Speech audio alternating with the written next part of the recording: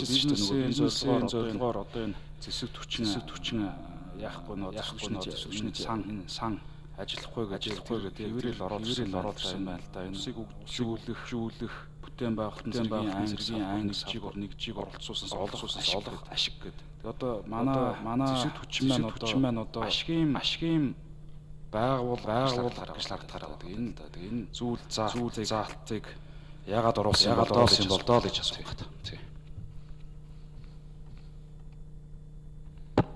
За за За энэ за энэ хэлцэх асуудал төслийнхаа төслийнхаа нээлттэй явуулж байгаа хуулиар нээлт хуулиар нээлттэй хэлэх боломжтой өрөөнд хариулаарай. За 80 за 82 дугаар 2 дугаар фон дээр сайт хариулъя. Сайт хариулъя.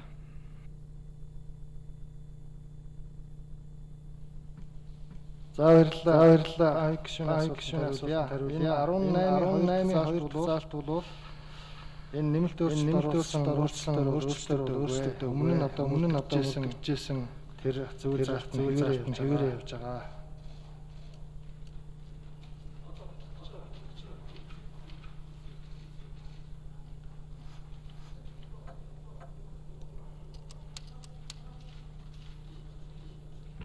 За за